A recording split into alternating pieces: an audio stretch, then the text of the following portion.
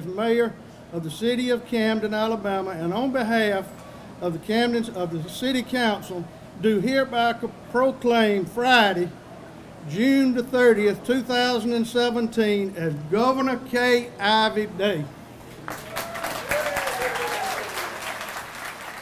Billy Gibbs, you're the first one that mentioned having a gathering at the shed to me. And it sounded like a great idea at the time, but I thought, yeah, you know, that'd be a nice thing to do. It won't. But sure enough. Y'all, this is this outpouring of the people, not only of Wilcox County, but a lot of you from a long way off and you've chosen to come home. And it's this committee right here at the, the table of class of 63 that started the nucleus of organizing tonight. But y'all, I just thank you so much. Let me share with you that everywhere I travel throughout this state, and sometimes in other states, but surely in this state, I always run up on somebody who says, Oh, Miss Kay, I'm so and so, and I'm from Wilcox County. Or they'll say, I'm so and so and I know somebody from Wilcox County. You might even say, Miss I'm kin to so and so. You know so and so in Wilcox County? The point is, folks, people who are from Wilcox County and Camden and Pineapple and Pine Hill, we love this area. It made us who we are and, and how we deal with life. And you are the best ambassadors for our home county of any other county in the state. You see, getting along with people, building relationships is always key to good success. It's good for success in building neighborhoods, building strong relationships is essential to job creation, attracting firms to come and provide employment opportunities. Relationships are so important.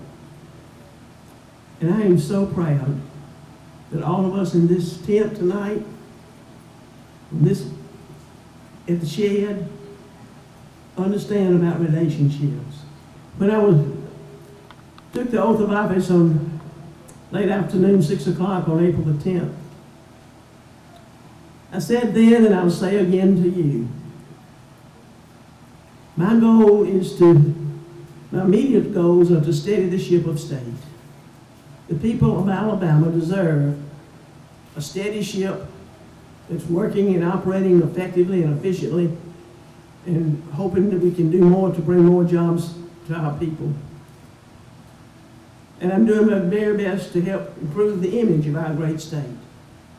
And I know very well that my home county historically has the highest unemployment rate of any county, certainly in Alabama and maybe the nation.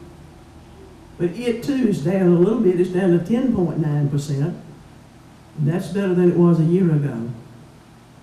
But I want you to know that I'm going to do all I can at the state level to continue to recruit new jobs to our state.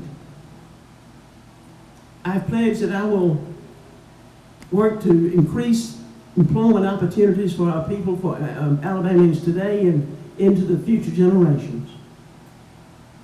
Our goal is to attract those who would be interested in investing in our great state so they will come and create jobs. And as I lead the state of Alabama, it is my quest